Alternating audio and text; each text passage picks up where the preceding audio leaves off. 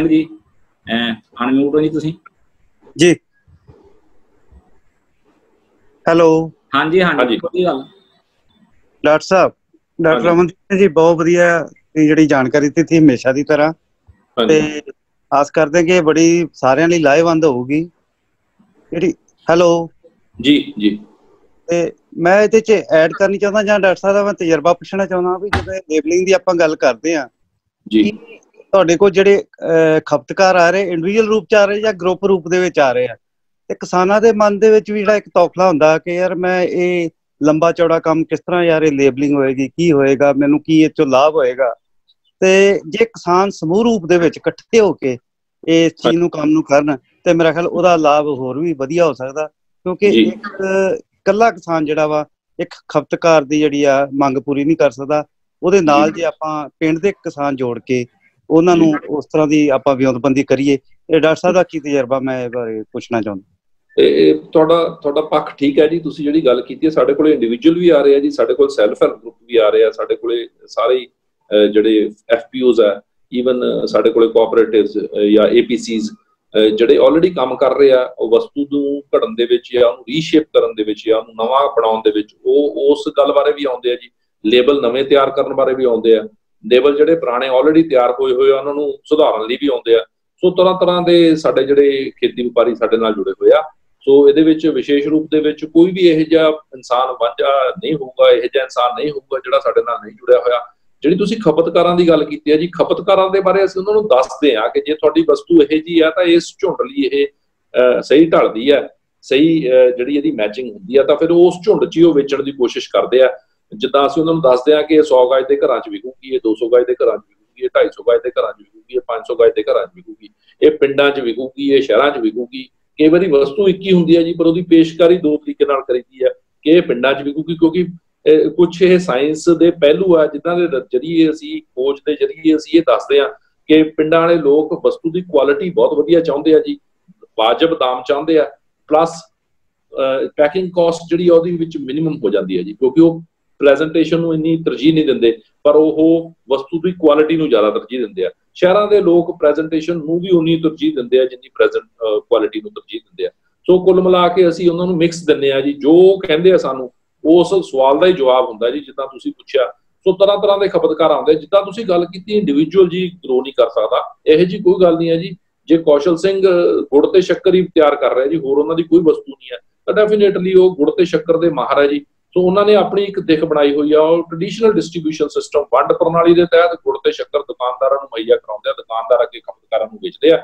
ਉਹ ਦੁਕਾਨਦਾਰਾਂ ਨੂੰ ਵੀ ਮੁਨਾਫਾ ਦਿੰਦੇ ਆ ਤੇ ਆਪ ਵੀ ਮੁਨਾਫਾ ਕਮਾਉਂਦੇ ਆ ਤੇ ਖਪਤਕਾਰਾਂ ਨੂੰ ਵਧੀਆ ਵਸਤੂ ਮੁਹੱਈਆ ਕਰਾਉਂਦੇ ਆ। ਸੋ ਇਹ ਕੁੱਲ ਮਿਲਾ ਕੇ ਸਾਰੀ ਲੜੀ ਵਾਰਤਾ ਜੀ। ਜਦੋਂ ਤੁਸੀਂ ਇਸ ਗੱਲ ਦੇ ਵਿੱਚ ਪਾਓਗੇ ਤੁਹਾਨੂੰ ਸਮਝ ਲੱਗੂਗੀ, ਹਾਂ, ਇਹ ਗੱਲ ਜ਼ਰੂਰ ਆ ਕਿ ਜੇ ਜਿੰਨੀ ਪ੍ਰੋਡਕਟ ਰੇਂਜ ਜ਼ਿਆਦਾ ਹੋਵੇ, ਉਹਦੇ ਵਿੱਚ ਤੁਹਾਨੂੰ ਖਪਤਕਾਰ ਚੰਗੇ ਤਰੀਕੇ ਨਾਲ ਜੁੜਦਾ। ਪਰ ਜਦੋਂ ਪ੍ਰੋਡਕਟ ਰੇਂਜ ਘੱਟ ਹੈ ਜਾਂ ਇੱਕ ਜਾਂ ਦੋ ਵਸਤੂਆਂ ਹੀ ਆ ਤੁਹਾਡੇ ਕੋਲੇ, ਤਾਂ ਉਹਨੂੰ ਵੇਚਣ ਦਾ ਤਰੀਕਾ ਹੋਰ ਹੈ ਜੀ। ਜਿਹੜੀ ਰੇਂਜ ਆ ਉਹਨੂੰ ਵੇਚਣ ਦਾ ਤਰੀਕਾ ਹੋਰ ਆ। ਸੋ ਕੁੱਲ ਮਿਲਾ ਕੇ ਇੱਕ ਮਿਕਸ ਹੈ ਮਾਰਕੀਟਿੰਗ ਮਿਕਸ ਅਸੀਂ ਕਹਿੰਦੇ ਆ ਇਹਨੂੰ, ਅਸੀਂ ਉਹ ਦੱਸਦੇ ਆ ਕਿ ਵੀ ਇਹ- ਇਸ ਗੱਲ ਦਾ ਸਮਾਧਾਨ ਆ ਵਾ। ਉਹ ਸਾਡੇ ਤੇ ਭਰੋਸਾ ਕਰਦੇ ਆ ਜੀ, ਅਸੀਂ ਉਹਨਾਂ ਤੇ ਭਰੋਸਾ ਕਰਦੇ ਹਾਂ ਦੇਖੋ ਭਰੋਸਾ ਦਾਨ ਆਪਣੀ ਅਰਦਾਸ ਦੇ ਵਿੱਚ ਕਲੀਅਰ ਕੱਟ ਆਪਣੇ ਗੁਰੂਆਂ ਦੀ ਸਾਨੂੰ ਸੇਧ ਹੈ ਕਿ ਅਸੀਂ ਭਰੋਸੇ ਦਾ ਦਾਨ ਤਾਂ ਕਰਨਾ ਹੀ ਕਰਨਾ ਹੈ। ਭਰੋਸਾ ਦਾਨ ਬਹੁਤ ਇੰਪੋਰਟੈਂਟ ਚੀਜ਼ ਹੈ ਜੀ। ਅਸੀਂ ਉਹਨਾਂ ਤੇ ਭਰੋਸਾ ਕਰਦੇ ਆ ਉਹ ਸਾਡੇ ਤੇ ਭਰੋਸਾ ਕਰਦੇ ਆ। ਦੇਖੋ, ਜੇ ਮੈਂ ਕਿਸੇ ਤੇ ਭਰੋਸਾ ਕਰੂੰਗਾ ਤਾਂ ਹੀ ਉਹ ਮੇਰੇ ਤੇ ਭਰੋਸਾ ਕਰਨਗੇ। ਵਿਸ਼ਵਾਸ ਬਣਦਾ ਹੀ ਤਾਂ ਜੀ। ਇਹ ਵਿਸ਼ਵਾਸ ਦੀ ਗੇਮ ਹੈ ਕਿ ਸਾਡੇ ਜ਼ਿਮੀਂਦਾਰ, ਸਾਡੇ ਟ੍ਰੇਨਡ ਪੀਏਯੂ ਟ੍ਰੇਨਡ ਐਗਰੀਪ੍ਰੈਨਿਓਰਸ ਉਹ ਸਾਡੇ ਤੇ ਵਿਸ਼ਵਾਸ ਕਰਦੇ ਆ, ਅਸੀਂ ਉਹਨਾਂ ਦਾ ਵਿਸ਼ਵਾਸ ਕਦੇ ਨਹੀਂ ਤੋੜਦੇ। ਅਸੀਂ, ਉਹ ਸਾਡੇ ਤੇ ਵਿਸ਼ਵਾਸ ਕਰਦੇ ਆ, ਅਸੀਂ ਉਹਨਾਂ ਤੇ ਵਿਸ਼ਵਾਸ ਕਰਦੇ ਆ। ਪਹਿਲ ਇਹ ਹੈ ਕਿ ਅਸੀਂ ਉਹਨਾਂ ਤੇ ਵਿਸ਼ਵਾਸ ਕਰਦੇ ਆ ਕਿ ਅਸੀਂ ਮੰਨ ਲੈਂਦੇ ਆ ਕਿ ਜੋ ਉਹ ਦੱਸ ਰਿਹਾ, ਸਾਰਾ ਕੁਝ ਸਹੀ ਦੱਸ ਰਿਹਾ ਔਰ ਜੋ ਸਿੱਖਣ ਦੀ ਕੋਸ਼ਿਸ਼ ਕਰ ਰਿਹਾ, ਉਹ ਸਿੱਖਣ ਦੇ ਵਿੱਚ ਉਹ ਆਪਣਾ ਪੂਰਾ ਜ਼ੋਰ ਲਾ ਰਿਹਾ। ਔਰ ਉਹਦੇ ਵਿੱਚ ਸਮੱਸਿਆਵਾਂ ਤਾਂ ਆਉਂਦੀਆਂ ਹੀ ਆ ਜੀ। ਉਹ ਸਮੱਸਿਆਵਾਂ ਦਾ ਸਮਾਧਾਨ ਅਸੀਂ ਸਮੇਂ-ਸਮੇਂ ਸਿਰ ਜਿਹੜੀ ਸਮੱਸਿਆ ਆਉਂਦੀ ਆ, ਉਸ ਸਮੱਸਿਆ ਦਾ ਸਮਾਧਾਨ ਅਸੀਂ ਕਰਦੇ ਰਹਿੰਦੇ ਆ। ਲੇਬਲ ਕਿਸੇ ਨੇ ਚੇਂਜ ਕਰਨਾ, ਕੋਈ ਸਪੈਲਿੰਗ ਮਿਸਟੇਕ ਹੋ ਗਈ, ਗਲਤੀਆਂ ਤਾਂ ਜੀ ਇਨਸਾਨ ਜਦੋਂ ਕੰਮ ਕਰਦਾ ਉਦੋਂ ਹੁੰਦੀਆਂ ਹੀ ਆ। ਜਦੋਂ ਅਸੀਂ ਅਸੀਂ ਅਸੀਂ ਗਲਤੀ ਨੂੰ ਬਹੁਤ ਵੱਡੀ ਗੱਲ ਨਹੀਂ ਮੰਨਦੇ, ਅਸੀਂ ਗਲਤੀ ਨੂੰ ਇਗਨੋਰ ਵੀ ਨਹੀਂ ਕਰਦੇ। ਅਸੀਂ ਗਲਤੀ ਨੂੰ, ਗਲਤੀ ਤੋਂ ਸਿੱਖਣ ਦੀ ਕੋਸ਼ਿਸ਼ ਕਰਦੇ ਆ, ਉਹਨੂੰ ਫਿਰ ਘੋਖ ਕੇ ਦੁਬਾਰਾ ਤਿਆਰ ਕਰ ਲੈਂਦੇ ਆ। ਇਹਦੇ ਨਾਲ ਕੁਝ ਨਹੀਂ ਹੁੰਦਾ ਜੀ। ਸਿੱਖ ਸਿੱਖ ਕੇ ਬੰਦਾ ਜਿਹੜਾ ਭਜਦਾ ਜੀ ਘੋੜਸਵਾਰ ਬਣਦਾ। ਡਿੱਗਦਾ ਢੈਂਦਾ ਤਾਂ ਹੀ ਬੰਦਾ ਜਿੱਤਦਾ ਜੀ ਖੇਡ ਦੇ ਮੈਦਾਨ ਦੇ ਵਿੱਚ। ਇਹੀ ਇਹ ਵੀ ਖੇਡ ਹੈ ਜੀ। ਇਹਦੇ ਵਿੱਚ ਗਲਤੀਆਂ ਹੁੰਦੀਆਂ ਘਾਟੇ ਵਾਧੇ ਵੀ ਪੈਂਦੇ ਆ, ਪਰ ਉਹ ਸਿੱਖ ਕੇ ਬੰਦਾ, ਦਾ ਮੈਂ ਤੁਹਾਨੂੰ ਉਦਾਹਰਨ ਦਿੱਤੀ ਗਰਚਾ ਸਾਹਿਬ ਦੀ। ਸਾਡੇ ਕੋਲ ਇੰਡੀਵਿਜੂਅਲ ਵੀ ਹੈ ਜੀ, ਸਾਡੇ ਕੋਲ ਕੋਆਪਰੇਟਿਵ ਸੁਸਾਇਟੀਜ਼ ਵੀ ਆ, ਸਾਡੇ ਕੋਲੇ ਏਪੀਸੀਜ਼ ਵੀ ਆ, ਸਾਡੇ ਕੋਲ ਸੈਲਫ ਹੈਲਪ ਗਰੁੱਪ ਵੀ ਆਉਂਦੇ ਆ ਐਫਪੀਓਜ਼ ਵੀ ਆਉਂਦੇ ਆ। ਕਈ ਵਾਰੀ ਸਾਡੇ ਕੋਲ ਇਹੋ ਜਿਹੇ ਵਪਾਰੀ ਵੀ ਆਉਂਦੇ ਆ, ਜਿੱਦਾਂ ਪੈਕੇਜਿੰਗ ਵਾਲੇ ਲੇਬਲਿੰਗ ਵਾਲੇ। ਉਹ ਕਹਿੰਦੇ ਆ ਕਿ ਸਾਨੂੰ ਵੀ ਵਪਾਰ ਦਿਵਾਓ। ਸਾਡੇ ਕੋਲੇ ਮੀਡੀਆ ਹਾਊਸਸ ਵੀ ਆਉਂਦੇ ਆ, ਸਾਡੇ ਕੋਲੇ ਜਿਹੜੇ ਕਲਮਬੰਦ ਕਰਦੇ ਆ ਚੀਜ਼ਾਂ ਨੂੰ ਉਹ ਜਿਹੇ ਇਨਸਾਨ ਵੀ ਆਉਂਦੇ ਆ। ਸੋ ਤਰ੍ਹਾਂ ਤਰ੍ਹਾਂ ਦੇ ਵਪਾਰੀ ਆਉਂਦੇ ਆ ਜੀ। ਸਾਡਾ ਕੰਮ ਇਹ ਹੈ ਕਿ ਖੇਤੀ ਵਪਾਰ ਨੂੰ ਪ੍ਰਫੁੱਲਤ ਕਰਨਾ ਪ੍ਰਮੋਟ ਕਰਨਾ। ਜੀ ਅਗਲਾ ਸਵਾਲ। ਬਹੁਤ ਅੱਛਾ ਡਾਕਟਰ ਸਾਹਿਬ ਆਪ ਜੀ ਨੇ ਸਵਾਲ ਬੜੇ ਵਧੀਆ ਤਰੀਕੇ ਦੇ ਨਾਲ ਡਾਕਟਰ ਸਾਹਿਬ ਡਾਕਟਰ ਸੁਦੀਪ ਸਿੰਘ ਦਾ ਸਵਾਲ ਦਾ ਜਵਾਬ ਦਿੱਤਾ। ਔਰ ਬੜੀ ਇਹਦੇ ਚ ਅਹਿਮ ਜਾਣਕਾਰੀਆਂ ਕਿਸਾਨਾਂ ਨੂੰ ਮਿਲੀਆਂ ਨੇ ਦਰਸ਼ਕਾਂ ਨੂੰ ਮਿਲੀਆਂ ਨੇ। ਤੇ ਡਾਕਟਰ ਸਾਹਿਬ ਮੈਂ ਤੁਹਾਡੇ ਕੋਲ ਮੈਂ ਇੱਕ ਸਵਾਲ ਕਰਨਾ ਚਾਹੁੰਦਾ ਸੀਗਾ ਹਾਂਜੀ ਮੈਂ ਆਪਣੀ ਪਰਸਨਲ ਗੱਲ ਕਰਦਾ ਜਿਵੇਂ ਮੈਂ ਖੇਤੀ ਕਰਦਾ ਆ। ਔਰ ਅਸੀਂ 22 ਏਕੜ ਖੇਤੀ ਚੋਂ 11 ਏਕੜ ਆਰਗੈਨਿਕ ਖੇਤੀ ਕਰਦੇ ਆ ਔਰ 11 ਏਕੜ ਜਿਹੜੀ ਅਸੀਂ ਜਿਹੜੀ ਆ ਕੈਮੀਕਲ ਫਰਟੀਲਾਈਜ਼ਰ ਵਾਲੀ ਜਿਹੜੀ ਖੇਤੀ ਹੀ ਕਰਦੇ ਆ ਜੀ। ਅਗਰ ਅਸੀਂ ਡਾਕਟਰ ਸਾਹਿਬ ਉਹਨਾਂ ਨੂੰ ਉਤਪਾਦ ਦੀ ਸ਼ਕਲ ਵਿੱਚ ਲਿਆਉਣਾ ਹੋਵੇ ਤੇ ਉਹਨਾਂ ਨੂੰ ਉਹਨਾਂ ਦੇ ਬ੍ਰਾਂਡਿੰਗ ਵੱਖਰੀ ਵੱਖਰੀ ਕਰਨੀ ਪਏਗੀ ਉਹਨਾਂ ਦਾ ਕਿਉਂਕਿ ਲੇਬਲਿੰਗ ਵੱਖਰੀ ਕਰਨੀ ਪਏਗੀ ਕਿਉਂਕਿ ਦੋਹਾਂ ਉਤਪਾਦਾਂ ਦੀ ਜਿਹੜੀ ਆ ਉਹ ਜਿਹੜੀ ਉਹਦੀ ਕੁਆਲਿਟੀ ਦੇ ਵਿੱਚ ਅੰਤਰ ਆ। ਇਸ ਕਰਕੇ ਮੈਂ ਸਮਝਦਾ ਉਹਨੂੰ ਵੱਖਰਾ ਕਰਨਾ ਪਏਗਾ ਕਿ ਜੇ ਇੱਕੋ ਬ੍ਰਾਂਡ ਦੇ ਨੂੰ ਕਰ ਸਕਦਾ ਹੈ। ਜੀ ਇਹ ਬਹੁਤ ਵਧੀਆ ਤੁਸੀਂ ਪਹਿਲੂ ਜਿਹੜਾ ਇਹ ਰੱਖਿਆ ਜੀ ਇਹਦੇ ਵਿੱਚ ਸਿੱਧਾ ਪੁਆਇੰਟ ਹੈ ਜੀ ਕਿ ਬ੍ਰਾਂਡ ਨੇਮ ਤਾਂ ਸੇਮ ਹੋਊਗਾ ਜੀ ਆਰਗੈਨਿਕ ਦਾ ਸੇਮ ਹੋਊਗਾ ਤੇ ਜਿਹੜੀ ਤੁਹਾਡੀ ਦੂਸਰੀ ਖੇਤੀ ਆ ਉਹਦਾ ਉਹਦੇ ਤਿਆਰ ਕੀਤੀਆਂ ਹੋਈਆਂ ਵਸਤੂਆਂ ਦਾ ਬ੍ਰਾਂਡ ਨੇਮ ਅਲੱਗ ਹੋਊਗਾ। ਪਰ ਜਿਹੜੀ ਆਰਗੈਨਿਕ ਦੇ ਵਿੱਚ ਜੇ ਬ੍ਰਾਂਡ ਨੇਮ ਆ ਗਿਆ ਜੀ ਤੁਹਾਡਾ ਇੱਕ ਬ੍ਰਾਂਡ ਨੇਮ ਆ ਗਿਆ ਉਹਦੇ ਵਿੱਚ ਵਸਤੂਆਂ ਭਾਵੇਂ ਜਿੰਨੀਆਂ ਮਰਜ਼ੀ ਹੋਣ ਜੀ ਜਿੱਦਾਂ ਬ੍ਰਾਂਡ ਨੇਮ ਤਾਂ ਡਿਲੀਸ਼ੀਅਸ ਬਾਈਟਸ ਹੈ। ਸੋ ਡਿਲੀਸ਼ੀਅਸ ਬਾਈਟਸ ਦੇ ਵਿੱਚ ਵਸਤੂਆਂ ਜਿੰਨੀਆਂ ਮਰਜ਼ੀ ਹੋਣ। ਬ੍ਰਾਂਡ ਨੇਮ ਦਾ ਜੀ ਕੇਨ ਫਾਰਮ ਹੈ।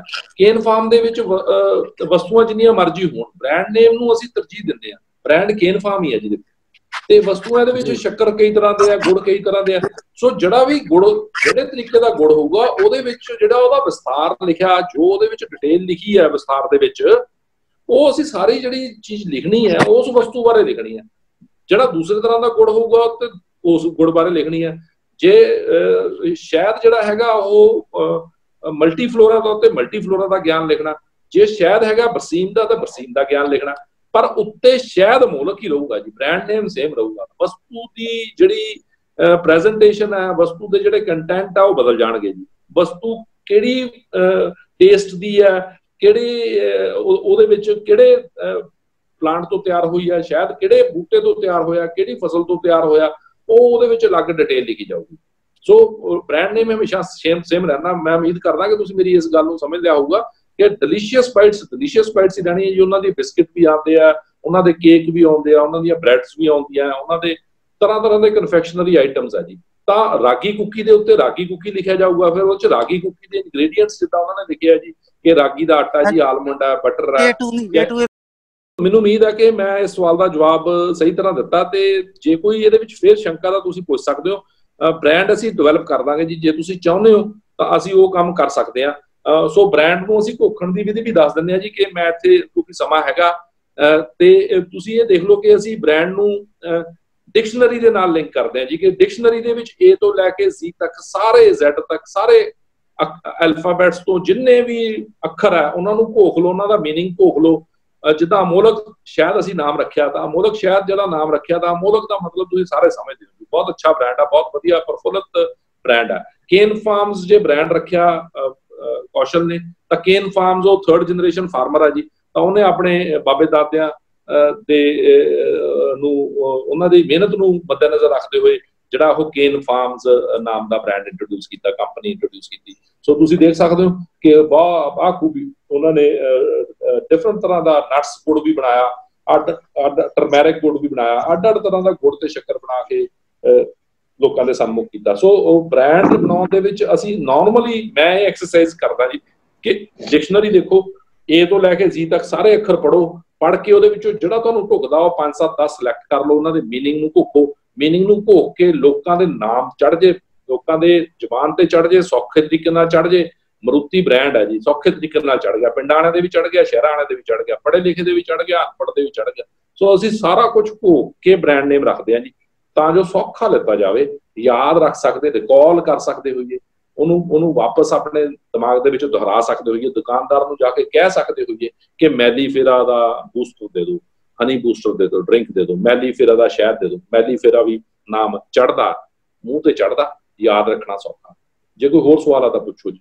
ਬਹੁਤ ਅੱਛਾ ਡਾਕਟਰ ਸਾਹਿਬ ਅੱਛਾ ਇੱਕ ਜਿਹੜਾ ਕਿਸਾਨ ਆ ਜਿਵੇਂ ਮੈਂ ਆਪਣੀ ਗੱਲ ਕਰ ਲੈਣਾ ਆ ਅਗਰ ਮੈਂ ਕਿਸਾਨ ਤੋਂ ਖੇਤੀ ਵਪਾਰੀ ਬਣਨਾ ਆ ਤੇ ਮੈਨੂੰ ਆਪਣੇ ਉਤਪਾਦ ਜਿਹੜੇ ਨੇ ਉਹਨਾਂ ਨੂੰ ਬ੍ਰਾਂਡਿੰਗ ਕਰਨਾ ਪਏਗਾ ਸਭ ਕੁਝ ਕਰਨਾ ਪਏਗਾ। ਉਹ ਕੀ ਤਰਤੀਬ ਹੈ ਡਾਕਟਰ ਸਾਹਿਬ?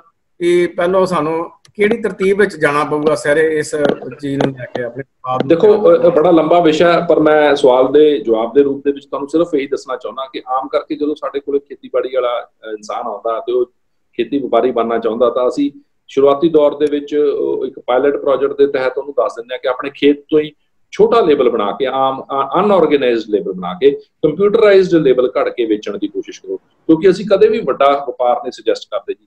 ਇਹ ਮੇਰੀ ਇੰਡੀਵਿਜੂਅਲ ਹੈਬਿਟ ਹੈ ਜੀ, ਪਰ ਇਸ ਗੱਲ ਨਾਲ ਕੋਈ ਬੰਦਾ ਡਿਫਰੈਂਸ ਆਫ ਓਪੀਨੀਅਨ ਵੀ ਰੱਖ ਸਕਦਾ, ਇਹ ਮੇਰੀ ਇੰਡੀਵਿਜੂਅਲ ਸੋਚ ਹੈ ਕਿਉਂਕਿ ਅਸੀਂ ਉਹਨੂੰ ਪ੍ਰੈਸ਼ਰ ਦੇ ਪੈਸੇ ਦੇ ਪ੍ਰੈਸ਼ਰ ਦੇ ਉੱਤੇ ਨਹੀਂ ਰੱਖਣਾ ਚਾਹੁੰਦੇ ਜ਼ਿਮੀਦਾਰ ਨੂੰ।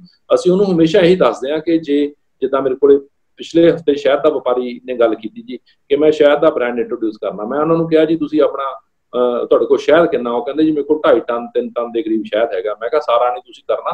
ਤੁਸੀਂ ਸਿਰਫ 30 ਕਿਲੋ 40 ਕਿਲੋ ਸ਼ਹਿਦ ਡੱਬਾ ਬੰਦ ਕਰਕੇ ਘਰੇ ਹੀ ਬੱਚਿਆਂ ਤੋਂ ਲੇਬਲ ਬਣਾ ਕੇ ਪਹਿਲਾਂ ਉਹ 30 ਕਿਲੋ ਸ਼ਹਿਦ ਵੇਚਣ ਦੀ ਕੋਸ਼ਿਸ਼ ਕਰੋ। ਦੇਖੋ, ਇੱਕ ਸਟੈਪ ਬਾਈ ਪ੍ਰੋਸੈਸ ਆ। ਮੈਂ ਇੱਕਦਮ ਨਹੀਂ ਖਿਡਾਰੀ ਬਣ ਸਕਦਾ। ਪਹਿਲਾਂ ਮਿਹਨਤ ਕਰਨੀ ਪਊਗੀ ਭੱਜ ਭਜਨਟ ਕਰਨੀ ਪਊਗੀ, ਸਿੱਖਣਾ ਪਊਗਾ, ਫਿਰ ਹੌਲੀ ਹੌਲੀ ਸਕਿੱਲ ਸਿੱਖਣੀ ਪਊਗੀ ਬਾਲ ਕਿੱਦਾਂ ਮਾਰਨੀ ਹੈ ਗਰਾਊਂਡ ਦੇ ਵਿੱਚ ਜਾਣਾ ਪਊਗਾ ਕੌਨਫੀਡੈਂਸ ਲੈਣਾ ਪਊਗਾ। ਸੋ ਇਹ ਵੀ ਇੱਕ ਖੇਡ ਹੈ ਇਹਦੇ ਵਿੱਚ ਅਸੀਂ ਇਦਾਂ ਸਿਖਾਉਂਦੇ ਆ ਮੇਰਾ ਜਿਹੜਾ ਆਪਣਾ ਪਰਸਨਲ ਵਿਊ ਇਹ ਹੈ ਕਿ ਮੈਂ ਕਦੇ ਵੀ ਉਹਨੂੰ ਲੋਨ ਲੈਣ ਲਈ ਪ੍ਰੇਰਿਤ ਨਹੀਂ ਕਰਦਾ, ਨਾ ਮੈਂ ਕਦੇ ਉਹਨੂੰ ਮਸ਼ੀਨ ਲੈਣ ਲਈ ਪ੍ਰੇਰਿਤ ਕਰਦਾ। ਮੈਂ ਸਿਰਫ ਉਹਨੂੰ ਇਹ ਕਹਿੰਦਾ ਕਿ ਤੁਸੀਂ ਆਪਣਾ 30 ਕਿਲੋ ਸ਼ਹਿਦ ਰਾਖਵਾ ਰੱਖ ਕੇ, ਉਹਦੀ ਅੱਧਾ ਅੱਧਾ ਕਿਲੋ ਦੀ ਉਹਦੀ ਪਾਈਆ ਪਾਈਆ ਦੀ, ਉਹਦੀ ਲੀਟਰ ਲੀਟਰ ਦੀ 5 ਲੀਟਰ ਲੀਟਰ ਦੀ ਚ ਕਰ ਲਓ 10 ਲੀਟਰ, ਅੱਧਾ ਅੱਧਾ ਲੀਟਰ ਦੇ ਵਿੱਚ ਕਰ ਲਓ। ਜਿਹੜੀ 10 ਲੀਟਰ ਆ ਉਹ ਪਾਈਆ ਪਾਈਆ ਚ ਕਰ ਲਓ। ਜਿਹੜੀ 5 ਲੀਟਰ ਕੀਲਾ ਬਚ ਗਿਆ, ਉਹਨੂੰ ਹੌਲੀ ਹੌਲੀ ਛੋਟੀ 100 ਗ੍ਰਾਮ ਦੀ ਪੈਕਿੰਗ ਦੇ ਵਿੱਚ ਸ਼ੀਸ਼ੀਆਂ ਮਾਰਕੀਟ ਦੇ ਵਿੱਚੋਂ ਲੈ ਕੇ ਜਿਹੜਾ ਕਿ ਪੈਕਿੰਗ ਮਟੀਰੀਅਲ ਅਸੀਂ ਉਹਨਾਂ ਨੂੰ ਸੁਜੈਸਟ ਕਰ ਦਿੰਦੇ ਆ ਕਿ ਤੁਹਾਡਾ ਜਿਹੜਾ ਖਿੱਤਾ, ਜੇ ਉਹ ਬਠਿੰਡੇ ਦਾ ਬੰਦਾ ਸੀ ਤਾਂ ਮੈਂ ਉਹਨੂੰ ਬਠਿੰਡੇ ਦੇ ਜੋ ਜ਼ਿਮੀਦਾਰ ਦੱਸਦੇ ਕਿ ਤੂੰ ਉਹਨਾਂ ਨੂੰ ਮੇਰਾ ਨਾਮ ਲੈ ਕੇ ਉਹਨਾਂ ਤੋਂ ਲੈ ਲੈ ਕਿ ਵੀ ਤਾਂ ਜੋ ਤੁਹਾਨੂੰ ਕੋਈ ਠੱਗੇ ਵੀ ਨਾ, ਸ਼ੀਸ਼ੀਆਂ 'ਚ ਵੀ ਨਾ ਠੱਗੇ, ਕਿਉਂਕਿ ਜਿਹੜਾ ਬਠਿੰਡੇ ਦਾ ਵਪਾਰੀ ਆ ਉਹਨੇ ਤਾਂ ਆਲਰੇਡੀ ਲੱਖਾਂ ਰੁਪਏ ਦਾ ਪੈਕੇਜਿੰਗ ਮਟੀਰੀਅਲ ਖਰੀਦਿਆ ਹੋਇਆ ਤੇ ਉਹਨੇ ਇਹ ਇਹ ਸਾਡਾ ਰਾਸਤਾ ਆਪਸ ਦੇ ਵਿੱਚ ਕਿ ਉਹਨੇ ਉਹਨੇ ਆਟੋਮੈਟਿਕਲੀ ਉਹਦਾ ਪੈਕਿੰਗ ਮਟੀਰੀਅਲ ਉਹਨੂੰ ਸਸਤੇ ਰੂਪ ਦੇ ਵਿੱਚ ਦੇ ਦੇਣਾ ਤੇ ਸਿਖਾ ਦੇਣਾ ਕਿ ਇਹਦੀ ਪੈਕਿੰਗ ਇਦਾਂ ਕਰਨੀ ਹੈ। ਲੇਬਲ ਜਿਹੜਾ ਅਸੀਂ ਉਹ ਕੱਚਾ ਜਿਹਾ ਕੱਢ ਦੇਣਾ।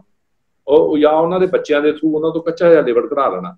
ਕੰਪਿਊਟਰਾਈਜ਼ਡ ਮੁੜ ਕੇ ਉਹ ਕੰਪਿਊਟਰਾਈਜ਼ਡ ਜਦੋਂ ਉਹ ਆਪਦੇ ਜਾਣ ਪਛਾਣ ਵਾਲਿਆਂ ਨੂੰ, ਇਲਾਕੇ ਦੇ ਵਿੱਚ ਆਪਦੇ ਰਿਸ਼ਤੇਦਾਰਾਂ ਨੂੰ ਉਹ ਵੇਚਣਗੇ 30 ਕਿਲੋ ਨਾਲ ਉਹਨਾਂ ਦੀ ਸਾਰੀ ਪੜ੍ਹਾਈ ਪੂਰੀ ਹੋ ਜਾਣੀ ਹੈ।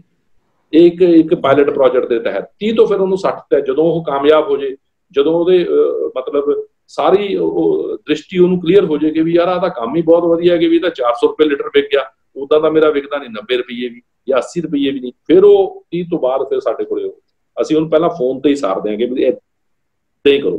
ਫਿਰ ਉਹ ਜਦੋਂ 30 ਵੇਚ ਕੇ ਸਾਡੇ ਕੋਲੇ ਆਉਣਗੇ, ਫਿਰ ਅਸੀਂ ਉਹਨੂੰ ਆਹ ਦੇਖ ਜਿਹੜੀ ਮੈਂ ਤੁਹਾਨੂੰ ਦਿਖਾਈ ਅੱਜ, ਫਿਰ ਅਸੀਂ 60 ਕਿਲੋ ਦੇ ਵਿੱਚ ਲੈ ਕੇ ਜਾਵਾਂਗੇ 120 ਤੇ ਲੈ ਕੇ ਜਾਵਾਂਗੇ, ਫਿਰ ਕੁਆਂਟਲਾਂ 'ਚ ਲੈ ਕੇ ਜਾਵਾਂਗੇ, ਫਿਰ ਟਨਾਂ 'ਚ ਲੈ ਕੇ ਜਾਵਾਂਗੇ ਹੌਲੀ ਹੌਲੀ ਕਰਕੇ। ਉਹ ਜਿਹੜੀ ਵਿਧੀ ਹੈ, ਫਿਰ ਉਸ ਤੋਂ ਬਾਅਦ ਐਫਐਸਐਸਏਆਈ ਕਿਵੇਂ ਲੈਣਾ ਹੈ ਇੱਕ ਮਾਰਕ ਲੈ, ਪਹਿਲਾਂ ਇੱਕ ਮਾਰਕ ਦਵਾਵਾਂਗੇ। ਫਿਰ food safety standard authority of India ਦੇ ਵਿੱਚ ਉਹ ਕਰਾਵਾਂਗੇ, ਕਿਉਂਕਿ ਕਾਸਟਲੀ ਪ੍ਰੋਸੈਸ ਹੈ ਫਿਰ ਹੌਲੀ ਹੌਲੀ ਕੋਆਪਰੇਟਿਵ ਰਜਿਸਟਰ ਕਰਾਉਣ ਲਈ ਦੱਸਦੇ ਆ। ਸਾਡੇ ਕੋਲੇ ਸਾਰੇ ਲੈਬ ਦੇ ਵਿੱਚ ਕੱਲੀ ਕੱਲੀ ਚੀਜ਼ ਲਿਖੀ ਹੋਈ ਹੈ ਕੋਆਪਰੇਟਿਵ ਕਿੱਦਾਂ ਰਜਿਸਟਰ ਕਰਾਣੀ ਹੈ ਕੰਪਨੀ ਕਿੱਦਾਂ ਰਜਿਸਟਰ ਕਰਾਣੀ ਹੈ ਐਫਪੀਓ ਕਿੱਦਾਂ ਬਣਾਉਣੀ ਹੈ ਸੈਲਫ ਹੈਲਪ ਗਰੁੱਪ ਕਿੱਦਾਂ ਬਣਾਉਣਾ। ਜਾਂ ਬਣੇ ਬਣਾਏ ਜਿਹੜੇ ਲੋਕ ਆ, ਉਹਨਾਂ ਦੇ ਨਾਲ ਉਹਨਾਂ ਨੂੰ ਜੋੜ ਵੀ ਦਿੰਦੇ ਆ। ਕਈ ਵਾਰੀ ਬੰਦਾ ਰਿਸਕ ਨਹੀਂ ਲੈ ਸਕਦਾ। ਜਿੱਦਾਂ ਤੁਸੀਂ ਦੱਸਿਆ ਕਿ ਜ਼ਿਮੀਦਾਰ ਇੰਨਾ ਉਹ ਨਹੀਂ ਹੁੰਦਾ ਰਿਸਕ ਲੈਣ ਦੇ ਕਾਬਿਲ ਨਹੀਂ ਹੁੰਦਾ, ਤਾਂ ਅਸੀਂ ਉਹਨੂੰ ਕਿਸੇ ਦੇ ਨਾਲ ਵੀ ਜੋੜ ਦਿੰਦੇ ਆ ਕਿ ਤੁਸੀਂ ਉਹਨਾਂ ਨਾਲ ਜੋੜ ਕੇ ਤਜਰਬਾ ਹਾਸਲ ਕਰ ਲਓ ਪਾਇਲਟ ਪ੍ਰੋਜੈਕਟ ਦੇ ਤਹਿਤ। ਉੱਥੋਂ ਤਜਰਬਾ ਹਾਸਲ ਕਰਕੇ ਉਹਨਾਂ ਨੂੰ ਅੱਡ ਤੋੜ ਦਿਓ। ਫਿਰ ਸਾਡੇ ਕੋਲੇ ਇਨਕੂਬੇਸ਼ਨ ਸੈਂਟਰ ਵੀ ਹੈ ਜੀ।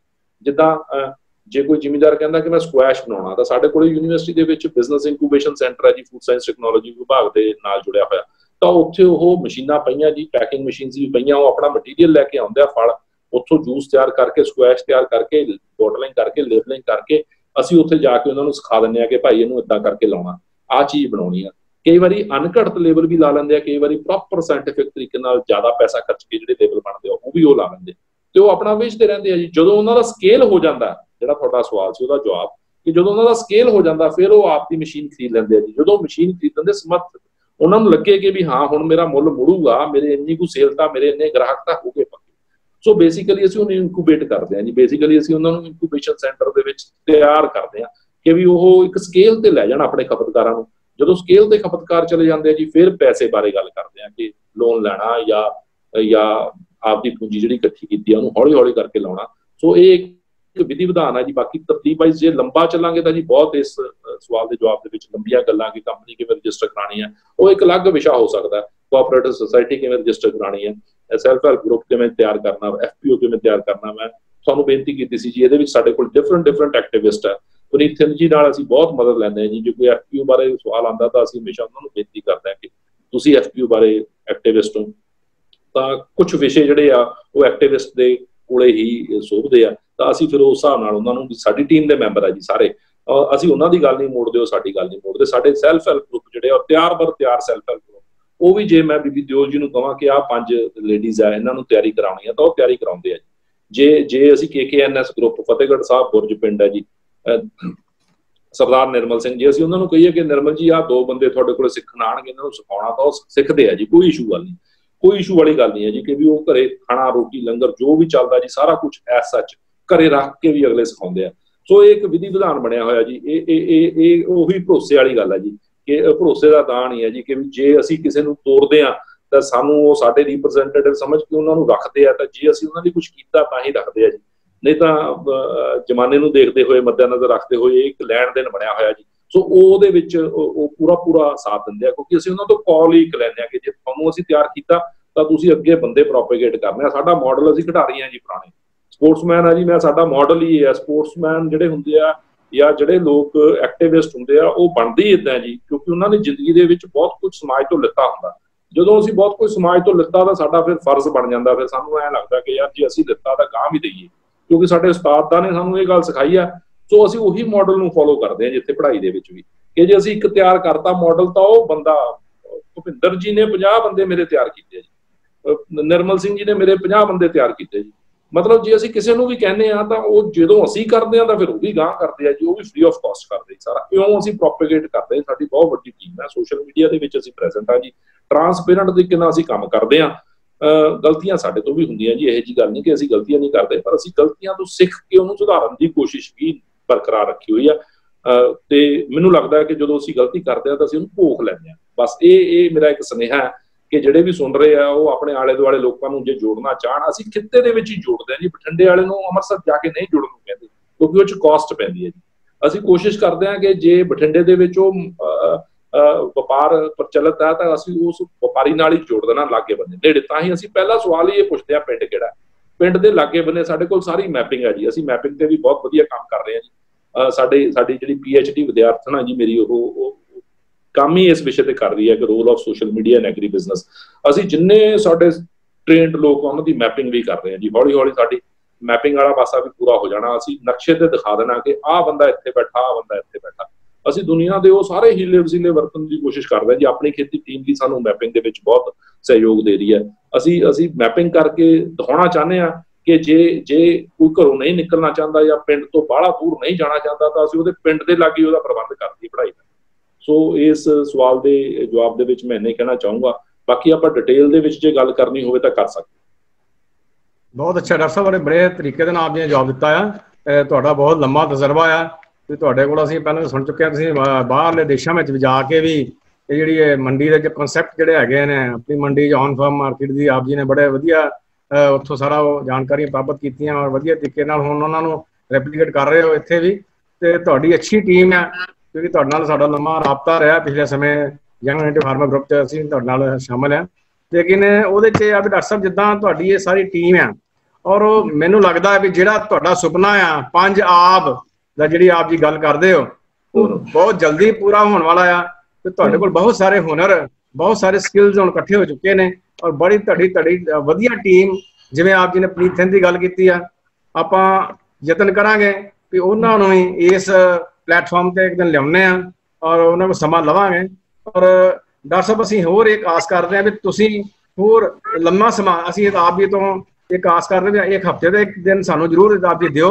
ਔਰ ਸਾਡੇ ਜਿਹੜੇ ਜਿੰਨੇ ਵੀ ਇੱਥੇ ਦਰਸ਼ਕ ਕਿਸਾਨ ਜਿਹੜੇ ਜੁੜਦੇ ਨੇ, ਉਹ ਆਪ ਜੀ ਕੋਲੋਂ ਆਪ ਜੀ ਦੀ ਵੱਡਮੁੱਲੀਆਂ ਜਾਣਕਾਰੀਆਂ ਪ੍ਰਾਪਤ ਕਰਕੇ ਤੇ ਉਹ ਜਿਹੜਾ ਤੁਹਾਡਾ ਸੁਪਨਾ ਆ, ਉਹ ਸੁਪਨੇ ਨੂੰ ਸਾਕਾਰ ਕਰਨ ਵਾਸਤੇ ਅਸੀਂ ਵੀ ਤੁਹਾਡੀ ਉਸ ਟੀਮ ਦਾ ਹਿੱਸਾ ਬਣੀਆਂ। ਸਾਰੇ ਦਰਸ਼ਕ ਸਾਡੇ ਸਾਰੇ ਕਿਸਾਨ ਤੁਹਾਡਾ ਉਸ ਟੀਮ ਦਾ ਹਿੱਸਾ ਬਣਨ ਔਰ ਆਪਾਂ ਸਾਰੇ ਖੁਸ਼ਹਾਲ ਹੋ ਸਕੀਏ ਪੰਜਾਬ ਖੁਸ਼ਹਾਲ ਹੋ ਸਕੇ ਔਰ ਅਸੀਂ ਇਹ ਵੀ ਚਾਹੁੰਦੇ ਆ ਕਿ ਅਸੀਂ ਸਾਰੇ ਰਲ ਕੇ ਜਿਹੜਾ ਇੱਕ ਐਸਾ ਮਾਹੌਲ ਸਿਰਜੀਏ ਜਿਹੜਾ। ਸਾਡੀ ਆਉਣ ਵਾਲੀਆਂ ਪੀੜ੍ਹੀਆਂ ਇਹ ਆਨੰਦ ਮਾਣ ਸਕਣ ਆਪਾਂ। ਆਪਣੇ ਵਾਤਾਵਰਣ ਤੇ ਆਪਣੇ ਪਾਣੀ ਆਪਣੇ ਹਵਾ ਇਹ ਸਾਰੀਆਂ ਚੀਜ਼ਾਂ ਨੂੰ ਵਧੀਆ ਤਰੀਕੇ ਨਾਲ ਸੰਭਾਲ ਸਕੀਏ ਔਰ ਆਪ ਜੀ ਦੇ ਜਿਹੜੇ ਸੁਨੇਹੇ ਆ ਬੜੇ ਅਰਥ ਭਰਪੂਰ ਸੁਨੇਹੇ ਨੇ ਤੇ ਆਸ ਕਰਦੇ ਹਾਂ ਵੀ ਆਪ ਜੀ ਇਸੇ ਤਰ੍ਹਾਂ ਸਾਡੇ ਨਾਲ ਜੁੜਦੇ ਰਹੋਗੇ ਤੇ ਆਪ ਜੀ। ਦਾ ਬਹੁਤ ਬਹੁਤ ਧੰਨਵਾਦ। ਤੁਸੀਂ ਆਏ ਔਰ ਸਾਡੇ ਨਾਲ ਵਿਚਾਰ ਸਾਂਝੇ ਕੀਤੇ। ਧੰਨਵਾਦ ਧੰਨਵਾਦ